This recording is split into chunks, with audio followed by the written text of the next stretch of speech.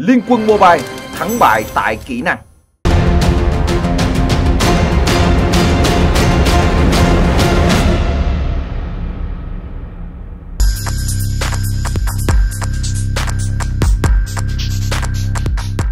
Từng chinh chiến tại đấu trường danh vọng mùa đông năm 2017, sau một năm vắng bóng, tôi đã quay trở lại và khoác trên mình màu áo của IGB Gaming. Tôi là Lạc Lạc.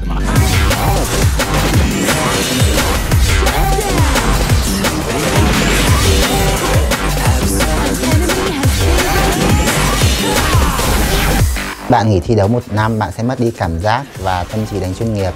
Nhưng tôi luôn có những buổi training cùng đồng đội với các đội tuyển lớn. Ở những trận training đó, tôi và 5 người đồng đội luôn đánh với tâm trí là đang thi đấu chuyên nghiệp. Có thể về chiến thuật và thao tác không còn như xưa, nhưng tinh thần tôi luôn giữ vững.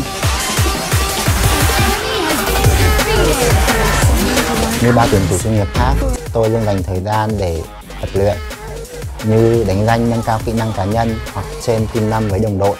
Ngoài ra tôi luôn học hỏi các tuyển thủ chuyên nghiệp khác về kỹ năng cách di chuyển. IVB là đội tuyển mới tại đấu trường danh vọng năm nay.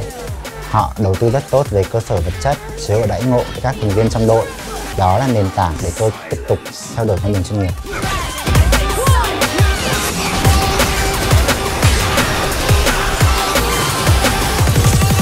Tôi không ngại cạnh tranh một suất đánh chính với Novia. Với tôi, được đánh là quan trọng nhất. Đó là niềm vui của tôi ngay lúc này. Tôi sẽ cố gắng hết sức để làm được điều đó. Hãy đón xem đấu trường danh vọng mùa xuân 2019, chính thức khởi tranh từ 23 tháng 2. Subscribe ngay Garana Liên quân Mobile và ấn chuông để nhận tin về quà miễn phí, tưởng và trang phục mới cùng giải eSports đỉnh cao.